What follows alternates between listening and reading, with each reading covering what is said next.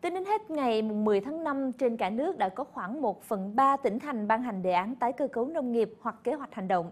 Số liệu này đưa ra tại cuộc tọa đàm về tái cơ cấu nông nghiệp do Ban Kinh tế Trung ương tổ chức hôm qua 28 tháng 5.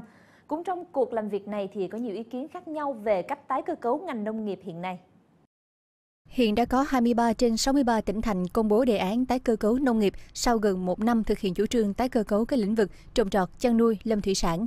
Theo các chuyên gia, việc quyết định tái cơ cấu bằng cách nào, chuyển đổi sang cây gì, con gì hiện không đơn giản, đặc biệt trong bối cảnh nền công nghiệp còn phụ thuộc nhiều vào nhu cầu thị trường xuất khẩu và đòi hỏi sản xuất quy mô lớn hơn và chất lượng cao hơn.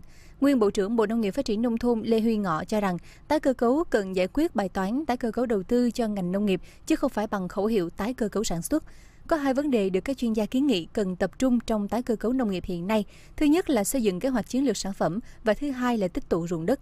Nếu không tích tụ sẽ không cơ giới hóa, hiện đại hóa và khó ứng dụng khoa học công nghệ vào khiến cho nông nghiệp trong nước khó cạnh tranh được.